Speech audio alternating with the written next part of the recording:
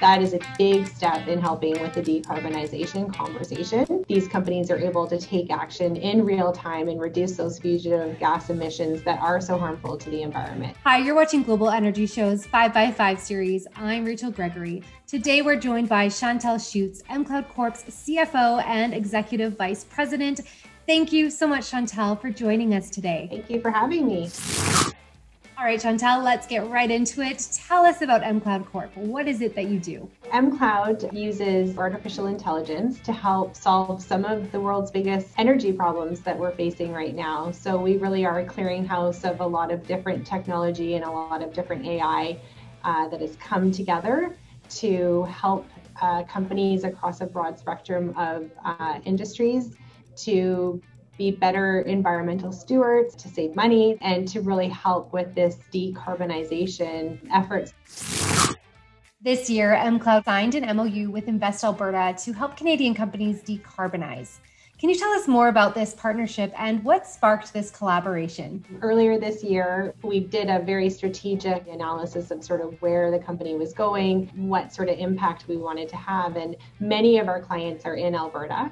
And so it only made sense to us that we decided to first and foremost make Alberta our new head office and our new corporate home. And in the process of doing that, Invest Alberta stepped up to the plate and signed this memorandum of understanding with us so that we can partner and really help the different businesses and the province itself have a running start in this conversation around decarbonization using mCloud technology and using the different partnerships. You are helping companies to reduce waste um, and increase cost savings uh, because of that. So, one of the products or technologies that you use is called Asset Care.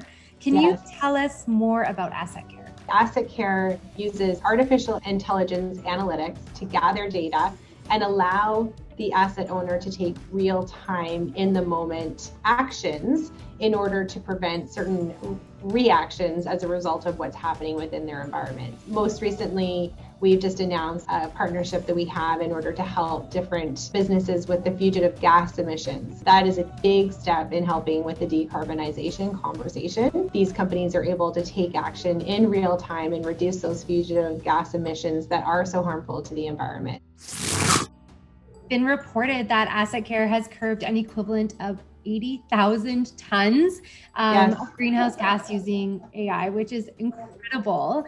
So yes. what what is the full potential of this and where do you see it going? 80,000 tons is the equivalent of about 18,000 vehicles a year, which I it does sound like a lot, but when you think about it, like wow, the opportunity for that to be an even bigger number is just to do the math is just a little bit like it stops your heart a little bit. And of course, that's our goal. We will have around 70,000 connected assets by the midpoint of this year. And with asset care, the more that we can educate companies, either the asset owners within the companies, in respect to what asset care can and will do to help them with the decarbonization, with the environmental impacts that we can have, and as well speaking to folks like me that are sitting in the in the CFO role that are having more and more pressure put on them in terms of reporting their ESG impacts within the environment. So really, truly, I mean, 80,000 tons sounds like a lot. It is, but the opportunity to have an even bigger impact is just it's it's incredible. And speaking of ESG reporting, mCloud launched its first annual ESG report this May.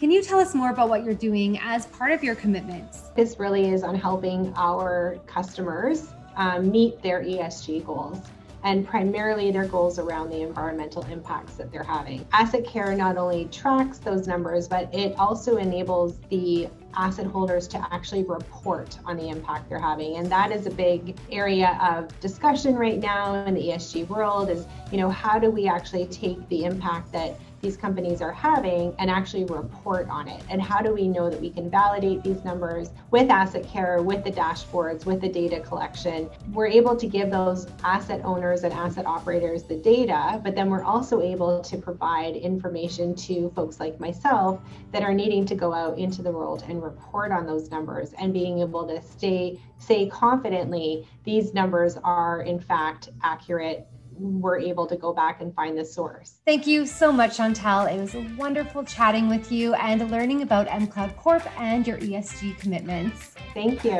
And thank you for tuning in to another week of Global Energy Show's 5x5 series. Make sure you like this video, subscribe to our YouTube channel, and be sure to share it out to your networks. We'll see you next week.